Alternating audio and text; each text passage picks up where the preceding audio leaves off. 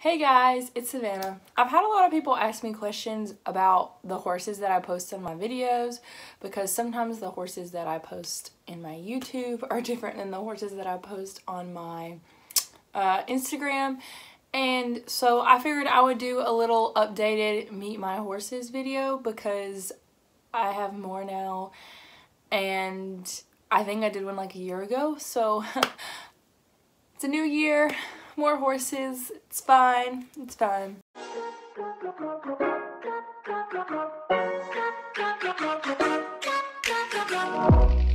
Just wanted to introduce you guys to my girl squad. And yes, my girl squad is all girls. So the first and the newest member of the girl squad, which I'm sure a lot of you are very familiar with, is Navi. Navi is a 2018 Oldenburg filly that I purchased in utero um, probably like almost two years ago. I purchased her pretty early in utero and she is now at the farm with me and there's like a whole like playlist just about Navi. So if you're a new subscriber or you missed some of her videos because I post videos along her lifetime now Be sure to check out the playlist because it goes all the way from me announcing that I'm buying a horse in utero to her being like now basically and I update it at least once a month so you get to kind of see a bi-monthly thing. Anyways, besides the playlist. Um, like I said, Navi's a 2018 Oldenburg filly. She is by Sagnal, who's by Sandro Hit, which if you don't know who Sandro Hit is, he's like one of the best stallions, one of the best stallion producers in dressage. And she's out of a mare that is a Hanoverian mare by Waldorf, which was a jumper stallion that was in Europe somewhere.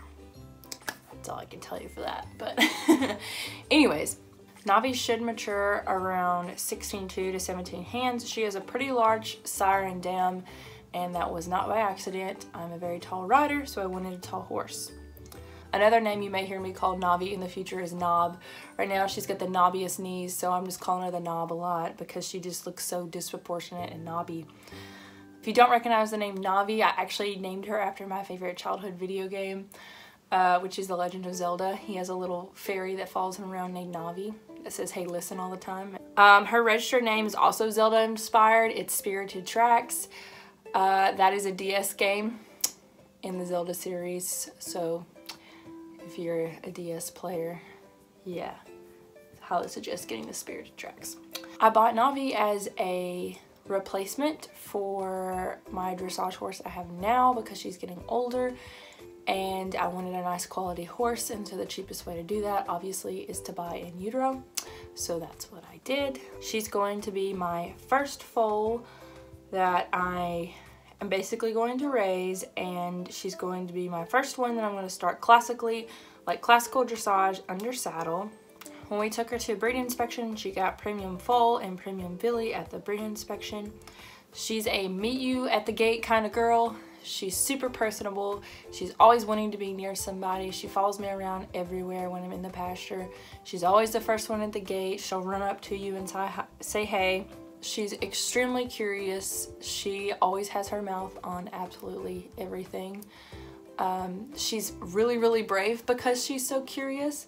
And when she does find things that frighten her, she doesn't immediately run away. She kind of looks about looks at it and thinks about it and she might be a little bit worried but she never just straight up runs away. She likes to look and think about things which I really, like about her and it's very different. I'm not used to that and so it's definitely going to be a super fun little journey for the both of us growing together because I'm not used to that and this will be my first baby to start from day one and Sorry, Navi, you get to be my sacrificial lamb.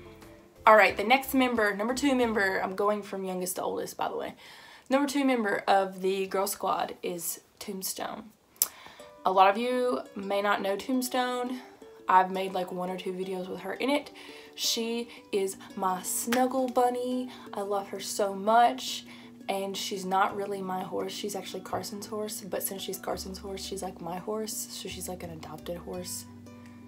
My horse is like they're his, and I treat his horses like they're mine. We're, they're, she's my horse. She's mine. Carson thinks she's his, but she's mine. She's my snuggle bunny. Um, Tombstone's registered name is Artie Snippochecks. She is by Big Chex to Cash out of Little Lady Commander. She's a reining cow horse bred, and Carson actually bought her as his next up and coming roping horse around two, coming three. She was almost three year old when we went and got her. She, funny story, we actually got her. I was showing at a facility um, somewhat close, not very close from here, kind of close, but not close from here and they started hosting dressage shows and since it was a little bit closer than other venues I decided to go and try and show there and the guy who owned the venue actually was getting out of reining horses and wanted to get into jumpers and dressage horses so he had a ton of reining stock for sale and a lot of reiners can work intertwinedly as roping horses or cow horses because they're bred really cowy so that's how we ended up with Tombstone and so she is such a delight. I call her my Snuggle Bunny. So, uh, also, I call her my Cream Puff. Carson bought her as an unstarted two-year-old, so he actually started her under saddle and got her riding the walk trot lope really easy. We ended up sending her off to a trainer to get trained for roping since we're so busy with school. Don't really have the proper time to really invest into a roping horse and even keep the stock that you need to rope and train with. So we decided it was easier just to send her off to be trained instead. She loves slash tolerates having her face snuggled. That's why I love her so much is you can hug her and snuggle her and love her all day and she just sits there. She's a true girl because she loves our glam time once every few weeks. She's got a really long mane, so I'll unbraid it and I'll rebraid it. And once every few weeks, we have to scrub it down. And she just sits there and she falls asleep in the cross ties and she just closes her eyes and I just massage her mane and it's like a real girl bonding time. Uh, Ugly Betty, most of you know who Ugly Betty is. Ugly Betty is her best friend, her BFF. She loves Ugly Betty. I wish I had videos of them together when they were turned out together because they would groom each other all day. They would run around with each other all day. So I'm convinced that Tombstone has an old soul because she gets along with Ugly Betty. the third horse I want to introduce to you guys is Amarillo. Also, sometimes I call her Rilro. She's a 2004 uh, quarter horse paint. She's pretty darn stinking cute. I mean, Come on, look at her. She's so cute. Uh, she doesn't act like a mare. If you know, you know, there's mares and there's geldings. They act different ways. She does she doesn't act like a mare. She's she's she's a tomboy, I guess. Um, Carson got her about five years ago to use as a practice horse for roping when he was big into the roping. Uh, she is super consistent super, super consistent. She does tie down, she can do breakaway, and she's on the heel side in team roping.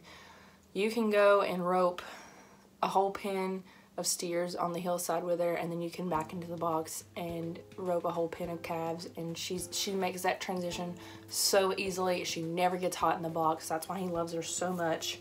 She's extremely easygoing. She does not get excited about anything really. There's only one thing I found that that horse does not like and those are clippers. She'll straight up run away from you to try and get away from clippers. I don't know what happened. As you can see she has a roached mane with lots of cookies and positive vibes and encouragement. she will let me roach her mane, but that's just about it. She really doesn't like it. Her favorite treat are blue sharks, blue gummy sharks. I don't know how I don't know how I figured that out. I think we were at the roping pin one day and I was eating candy and I was like, everyone, every horse, eat a gummy shark. And she was the only one that would eat it. And from there on out, uh, there goes the gummy sharks. I just fed her gummy sharks. Again, this mare is super awesome and super level-headed. She will probably forever be in the barn with us because she's just so nice.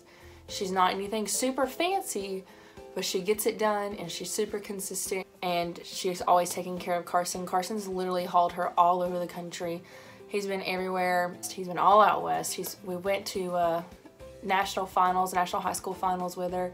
He's qualified for finals with her. He's been to a ton of ropings, been invited to a ton of ropings in Oklahoma and Texas and he's taken her out there. That's his go-to mare. He loves her so much. She may not be his best mare, but he really, really likes her. The fourth and final member of the girl squad is the one and only Ugly Betty. I know all of you definitely know who Ugly Betty is. She is my main dressage horse. She is a 1998 horse. That's right, my horse is 21 years old. Yeah. Yeah, 21. She's an old girl. Um, she actually came to me named Melanie, but that's not her personality. She has a pretty quirky, schizophrenic personality, I guess you could say. So there goes Ugly Betty. I love her to death though, don't get me wrong. She's ugly as sin, but I love her to death. Um, she's actually polo bred. She was bred for polo up in Nashville by a show jumper, an Olympic show jumper named Melanie Smith. And she didn't make it in the polo world. Can't imagine why. Can't imagine why. She's a psycho. That's why.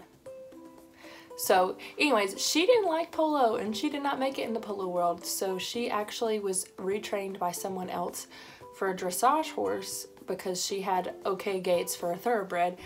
And that's when I picked her up. She was confirmed first level when I got her five years ago.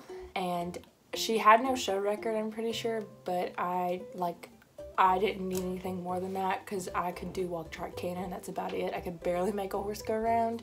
She definitely taught me a ton and from there on out that's she's the one who really taught me the appreciation for dressage and from there on out she we just kept getting better and growing I guess. She helped me earn my bronze medal and even today at 21 years old we are getting ready to show fourth level this summer which is super amazing. She's such an amazing horse. I she I would not be anywhere where I am today at all if it was not for her. A lot of patience and a lot of persistence and waiting and and tears and blood and sweat has went into that horse and she is definitely worth it. For me, she's worth it. so she's definitely not everyone's cup of tea. Um, I learned to live with her because that's all I had at the time and that's I think what makes our relationship so special is because she I mean she's all I had. And I know there's tons of people out there that have horses that they have all these quirks and these weird things they have to work around. And I'm one of those people that I was able to keep going keep pushing and it paid off. And I was able to reach one of my goals which is my bronze medal. Fun facts about her. She's extremely quirky which I've already said. She doesn't tie. She's super girthy um, she didn't cross tie for a long time. She'll cross tie now. Uh, she hates the clippers. She used to not load a trailer and finally got her to load the trailer. Her second favorite place in the world is actually in the arena. She's super relaxed. She loves dressage. She loves dressage.